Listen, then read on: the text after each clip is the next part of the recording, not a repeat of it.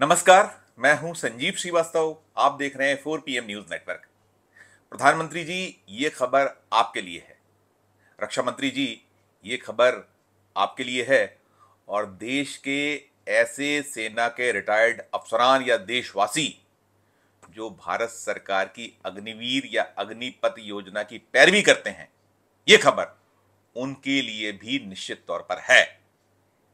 नाम मोहित सिंह बघेल उम्र 19 साल, हाल मुकाम, भारतीय सेना में ट्रेनी अग्निवीर और पदस्थापना राजपूत रेजिमेंट, पठानकोट। राजपूत रेजिमेंट वो रेजिमेंट है जो अपने शौर्य और बलिदान के लिए ख्यात है, जो हमारी सेना है। उसमें जितने भी धड़े हैं इसके, उन सब में इस राजपूत रेजिमेंट की गणना बहुत ऊपरी पायदान पर होती है और बार बार इसके शौर्य, इसके बलिदान की चर्चाएँ होती हैं। मैं आपको यह भी बता दूँ कि इस रेजिमेंट में मार्शल करियप्पा और जनरल वी के सिंह जैसे जो सेना के जाने माने और जिनके शौर्य और पराक्रम के किस्से मशहूर रहे हैं, वो पदस्थ रहे हैं। लेकिन जो मैंने नाम ज़िक्र किया मोहित सिंह बघेल का 19 साल के, मोहित सिंह बघेल जो ट्रेनी अग्निवीर हैं, जिनकी पदस्थापना पठानकोट में थी, वे पकड़े गए हैं। एक बड़ी लूट, एक ज्वेलर के यहाँ लूट और उसके बाद एक डाके की प्लानिंग को लेकर डाका वो बैंक में डालना चाहते थे। अब आप शायद निश्चित तौर पर उत्सुक भी होंगे और चौंके भी होंगे कि ये मोहित सिंह बघेल ने आखिर किया क्यों? मोहित सिंह बघेल के जीजा कर्ज में डूबे हूँ। बार बार ये बात होती है कि ये जो अग्निवीर योजना है, जो अग्निपथ स्कीम है, ये ठीक नहीं है। सेना में अपना भविष्य बनाने के लिए आने वाले जो नौजवान हैं, जो देश के लिए मर मिटने का जज्बा रखा करते थे, है कुछ लोगों में। लेकिन अब जो बदलाव हुआ है, ये जो योजना बदली गई है अग्निवीर या अग्निपथ में इसके बाद कहीं ना कहीं हमारे युवाओं का मोह भंग हो रहा है और यदि वे वहाँ पहुँच भी जा रहे हैं, बहुत कड़ा परिश्रम करना पड़ता है यदि आपको अग्निवीर बनना है, अग्निपति योजना का हिस्सा बनना है तो उसके लिए कड़ा परिश्रम, ज़बरदस्त संघर्ष, उसके बाद आप वहाँ तक पहुँचते हैं। क्योंकि ये आरोप है कि वहाँ भविष्य सुरक्षित नहीं है तो कहीं ना कहीं ये जो चाहे वो अग्निवीर हो या ट्रेनी अग्निवीर हो इनके द्वारा जो कदम उठाए जा रहे हैं, वो चौंका रहे हैं, सहमा रहे हैं, चिंता पैदा कर रहे हैं कि ये जिन्हें देश की सरहदों की रक्षा करने के लिए तैयार किया जा रहा है, वो आखिर इस तरफ़ क्यों मुड़ रहे हैं? जैसा मैंने बताया, मोहित सिंह बघेल, उम्र केवल 19 साल, पकड़े गए हैं एक ज्वेलर के यहाँ लूट के मामले में।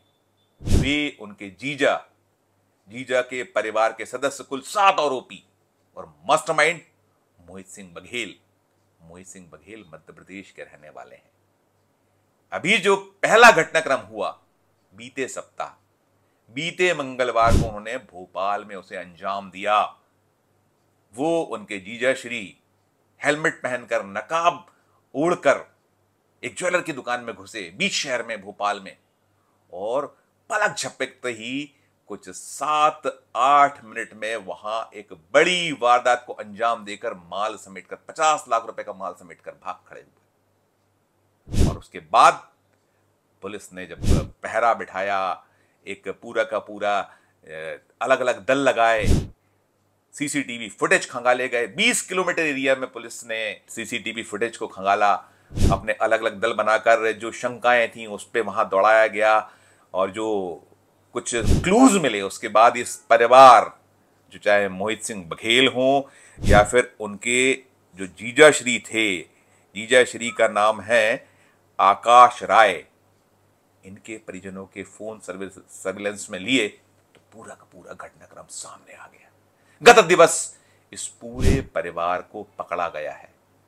मास्टरमाइंड मोहित सिंह बघेल और आकाश राय को दो दिन के लिए पुलिस रिमांड पे लिया गया है। ये पुलिस रिमांड पे है इस वक्त जब मैं खबर बना रहा हूँ।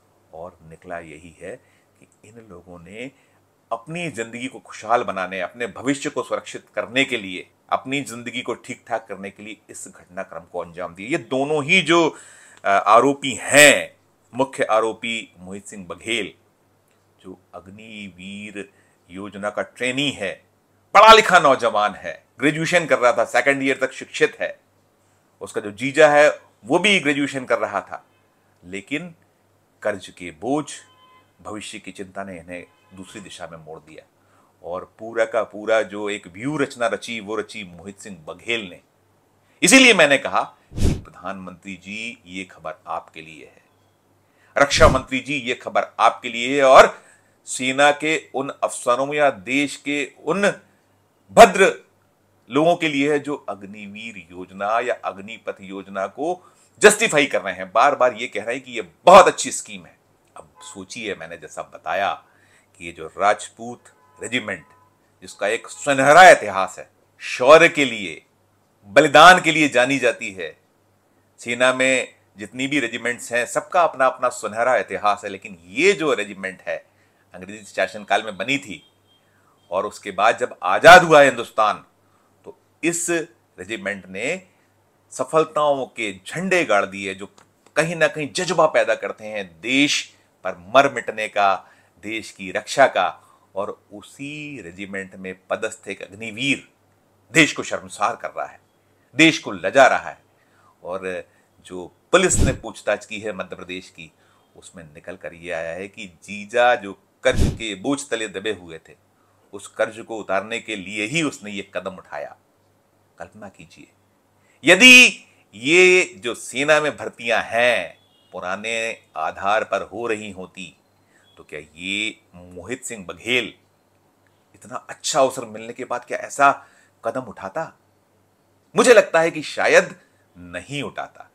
यदि उसे मालूम होता कि उसका भविष्य, उसके परिवार का भविष्य सुरक्षित है, यदि देश की रक्षा करते करते वो कुर्बान हो गया, जान गंवा बैठा, बलिदान दे दिया अपनी जान की, बलि बलिदान दे दिया तो ना केवल उसके पूरे परिवार की एक रक्षा सुरक्षा होगी, उसकी जो आर्थिक जो मुश्किलात हैं, वो कम होंगी और साथ साथ यदि एक अच्छा पैकेज होता, शानदार पैकेज होता तो भी जो कर्ज जो है, उसके परिजनों पर था, है, उसको उतारने में उसे मदद मिलती यानी ये विचार का सवाल है, विचार का प्रश्न है। यही तो बार बार विपक्ष कह रहा है। कि ये जो योजना है, इसमें बहुत सारी कमियाँ हैं, बहुत सारी खामियाँ हैं। और ये उचित नहीं है कि हमारा जो सैनिक है, वो कॉन्टेक्चुअल हो। एक निश्चित अवधि के अंदर भगा दिया जाए। उसका भविष्य सुरक्षित ना हो, सुनहरा ना हो, क्या करेगा वो? लोकसभा में नेता प्रतिपक्ष राहुल गांधी अभी हैं।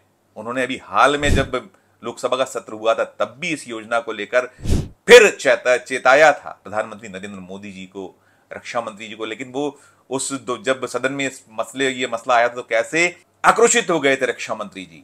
राजनाथ सिंह साहब गलत बयानी कर रहे हैं राहुल गांधी। और राहुल गांधी अभी से नहीं बहुत लंबे वक्त से इस, इस योजना को जब से लागू हुई है निरंतर इसको कहीं ना कहीं इस योजना पर ध्यान आकर्षित कर रहे हैं कि ये ठीक नहीं है। ये योजना जो सेना में एक अपने शौर्य का प्रदर्शन करने की जो एक जज्बा पैदा करता था, वो कहीं कम कर रहा है। लेकिन, मेरी मुर्गी की देर टांग। प्रधानमंत्री नरेंद्र मोदी जी तो इसी मानसिकता के लिए जाने जाते हैं कि अगर विपक्ष कुछ कहेगा तो फिर वो उनको करना ही करना है। एक जिद्दी स्वभाव उनका जो है। यदि योजना अच्छी नहीं है उसके परिणाम अच्छे नहीं आ पा रहे हैं, यदि युवक जो हैं, उन्हें कठिनाई है जो सेना में अपना भविष्य बनाना चाहते हैं तो क्यों नहीं पुनर्विचार हो जाता है? क्या कठिनाई है? देश 208 लाख करोड़ के कर्ज में है, और हमें यदि अपनी सीमाओं की रक्षा करना है, सेना को मज़बूत बनाना है तो वहाँ कोताही कटौती आखिर क्यों? क्यों ये जो ट्रेनिंग दे रही है भारतीय सेना, और उसका उपयोग किस लिए हो रहा है? लूट के लिए, डाकेजनी के लिए और ये पहला घटनाक्रम नहीं, इसके पहले भी कई घटनाक्रम सामने आए हैं। अग्निवीरों द्वारा किस तरीके से वो जो उसको एक ट्रेनिंग मिल रही है, उसका मिसयूज कैसे हो सकता है, किया जा रहा है या किया जा सकता है, वो हमने देखा है। और ये तो भी देश में ही हो रहा है।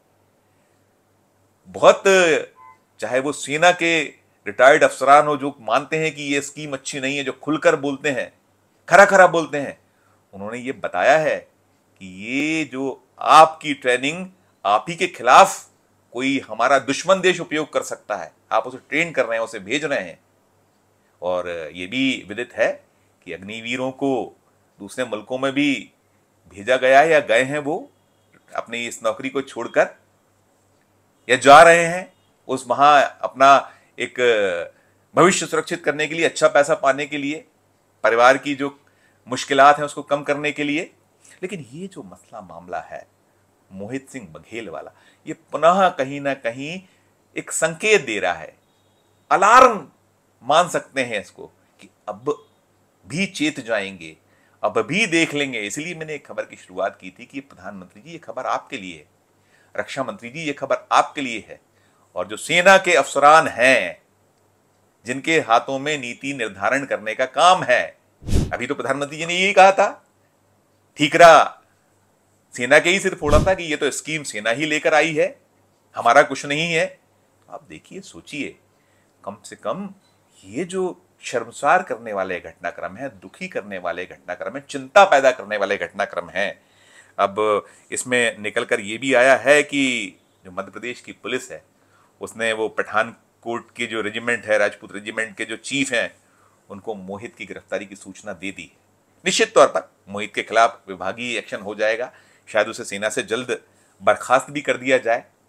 लेकिन यहाँ ये सिर्फ़ बर्खास्तगी से तो बात बनने वाली नहीं है।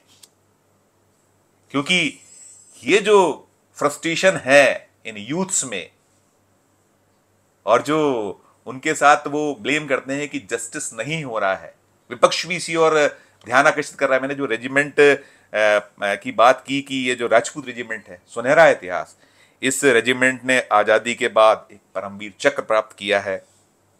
एक अशोक चक्र पाया है। सात महावीर चक्र हैं इस रेजिमेंट के नाम। बारह कीर्ति चक्र, ऐसे ढेरों विशिष्ट पदक पदक, लंबी फहरिस्त है।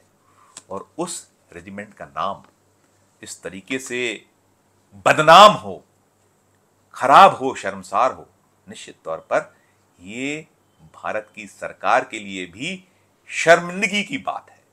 देशवासियों के लिए भी शर्मिंदगी की बात है। मुझे लगता है कि इस मसले पे राजनीति ना करते हुए, बिना देर किए भारत की सरकार को, प्रधानमंत्री जी को पुनर्विचार करना चाहिए। ये अग्निवीर, ये अग्निपथ, अगर आप वापस ले लीजिएगा तो आप, शायद आपकी नाक नहीं कट जाएगी, थोड़ी खराब भाषा में बात की जाए। आपका कोई अपमान नहीं हो जाएगा। देश का सम्मान बढ़ेगा। पुरानी योजना लागू करिए। जाने दीजिए, होने दीजिए, खर्च यदि हो रहा है, हम देशवासी जब सारा कुछ सहते हैं, आपके ऐशो और आम आठ हज़ार करोड़ रुपए के जहाज़ में आप घूमते हैं, आपको तो सूट बूट वाली सरकार कहा जाता है। आप सत्रह लाख करोड़ के कर्ज माफ़ करते हैं, आप जो आपके चंद उद्योगपति दोस्त हैं, जिसको लेकर बार बार बात होती है।